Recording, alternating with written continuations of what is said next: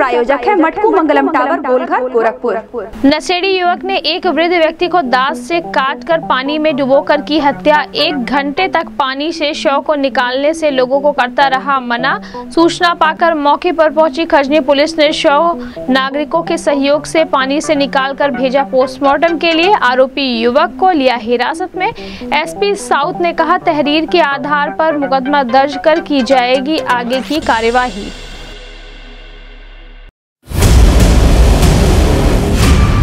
रविवार को मऊधर मंगल गाँव में हुई घटना में नामजद तीसरे अभियुक्त जय गोविंद को खजनी पुलिस ने किया गिरफ़्तार, भेजा जेल।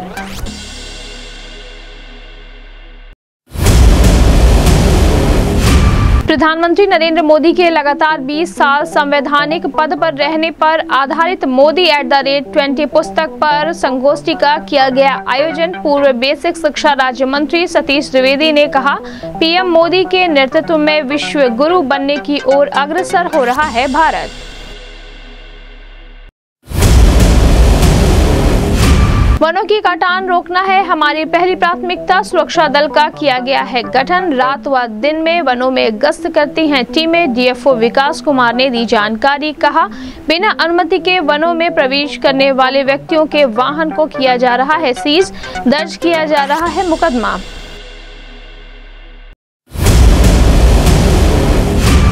अपमिश्रित कच्ची शराब के साथ तीन शातिर अभियुक्तों को राजघाट थाने की पुलिस ने किया गिरफ़्तार। पास से 1000 लीटर अपमिश्रित कच्ची शराब, तीन किलोग्राम यूरिया 10 किलोग्राम नौसादर व कच्ची शराब बनाने का उपकरण किया बरामद, भेजा जेल।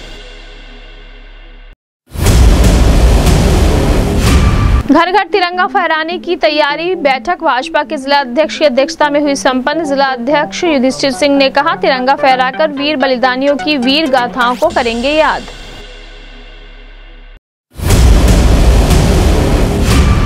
पूर्वोत्तर रेलवे आज़ादी के अमृत महोत्सव पर अपनी दो ट्रेनें, गोरखधाम और चौरी चौरा एक्सप्रेस के एसी कोचों पर महापुरुष एवं स्वतंत्रता संग्राम सेनानी के लगाए चित्र। सीपीआरओ पंकज कुमार सिंह ने कहा, सभी रेलकर्मी अपने आवासों पर लगाएँगे तिरंगा। बाल संरक्षण को लेकर एसपी क्राइम इंदु प्रभात सिंह ने अधिकारियों के साथ की बैठक। पास्को एक्ट से जुड़े विवेचना को समय से पूरा करने के लिए अधिकारियों को दिए निर्देश। उनतीस जुलाई अंतर्राष्ट्रीय बाघ दिवस के अवसर पर शहीद अशफाक उल्ला प्राणी उद्यान केंद्र व योगी बाबा गंभीरनाथ प्रेक्षागृह में वृहद कार्यक्रम का किया जाएगा आयोजन। देश विदेश से लोग आकर बाघ संरक्षण पर रखेंगे अपनी राय। सीएम योगी और फ़िल्म स्टार रणदीप हुड्डा के शामिल होने की है संभावना।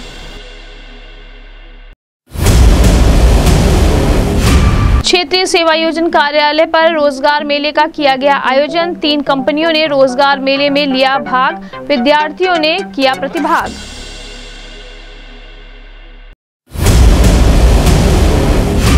और जटेपुर चौकी प्रभारी ने चलाया वाहन चेकिंग का अभियान। रॉन्ग रूट पर चलने, बिना कागज़ और बिना हेलमेट के वाहन चालकों का काटा गया चालान।